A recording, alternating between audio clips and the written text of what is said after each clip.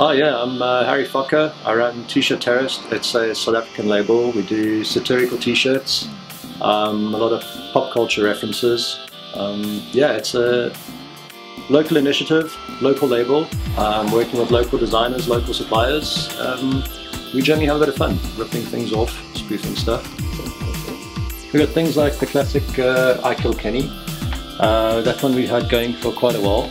Um, interesting story behind this design. Um, someone put an image on a blog and that image has been copied off the blog and I Killed Kenny can be bought basically anywhere in the world on any sort of shirt um, through eBay, Amazon, etc. It's been madly spoofed. So uh, probably flattery is a yeah, it's a, it's, it's, a form of flattery, but it's also yeah pretty annoying. um, I work with with designers, so these are all my these are all my creations. These are my designs. These are my ideas, my brainstorms. Uh, yeah, some local stuff as well. It's obviously important that we do reference, you know, local culture. So here's our old school instead of old school with, you know, the infamous wagon. This is also a cool image, another positive spin. You know, not always trying to be, you know, negative and scathing. This is quite a cool design. These, I mean, the ideas, they come to me. There's not much I can do about it. You know, I'm not going to write them down and put them in a box for posterity. You know, I'm going to, get my work out there. This is my work. This is what I enjoy doing. Um, it just it, it, gives me look. It's a it's a sense of fulfillment. You know, I'm, I'm a creative. I'm a writer. I'm an artist. I'm not necessarily a designer, but I'm conceptual. So I'm always obviously creating things inside my mind. I'm always like, ideas always coming to me. I think of it as like, you know, the, the universe throws me a couple of giant curveballs, you know, and I, I keep on catching them. Sometimes in my teeth, by the skin of my teeth, but I keep on catching them, you know. And uh, I just want to get my work out there, you know. And some of my work, as I say, is controversial. Some of my ideas are, you know, my orientation is like left of center, I'm, I'm, a, I'm a guy who's always questioning things and, and challenging things. You know, I, I, don't really want to be, you know, just part of the masses. I want to stand out. I want to do something. I want to say something different.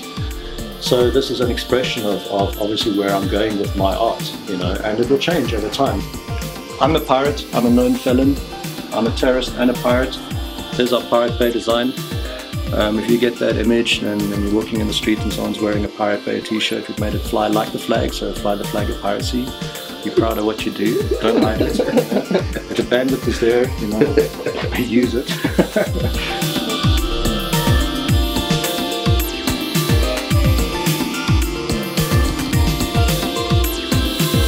this is obviously what I want to align my brand with is obviously creative projects, independents who are going out there and doing something different. So I thought I could I could definitely I could definitely help. Um, not necessarily only get my brand out there, but obviously assist, you know, the film GENiAS and, and, and yeah, getting some pretty cool threads onto these actors and, and actually getting, you know, a standout, uh, a standout wardrobe, which is something something different. I mean, you don't necessarily want to dress them all in Nike. What's the point? You know, you actually want to stand out know?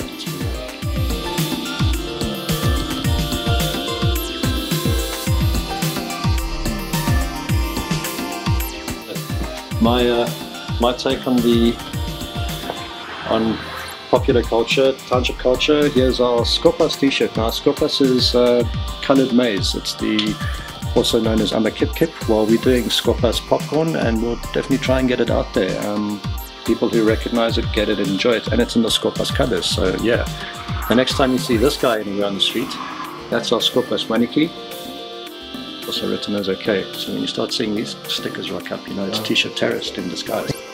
Yeah, um, bananas and pajamas. The great thing about bananas and pajamas is they always wore blue and white striped pajamas. So we called it what it was. Those were convict clothes, and we had them breaking out of jail. You know, escaping the chain gang. Well, I think what you have to do is you, you simply have to keep going. You've got to believe in your art and you've got to get it out there. And it's going to be a challenge and people are going to, you know, try and uh, not necessarily get in your way, but it's going to be challenging. So you just have to follow the art, you know, and it'll, if it's real and if you believe in it, it will work. And yeah, you'll get the support you need from people who believe in what you do. So.